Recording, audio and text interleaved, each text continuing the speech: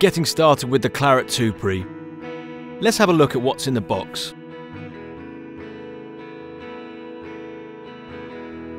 Inside the box you get a packet with helpful information on how to get started with the Clarett 2Pre.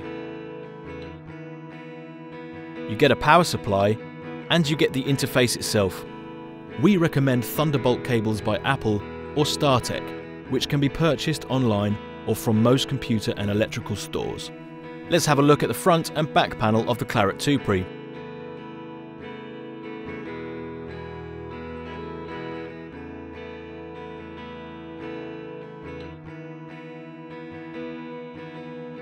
Inside the packet is a getting started guide with helpful information on how to get started with the Clarett 2Pre. On the back of the Getting Started guide are your bundle code and serial number.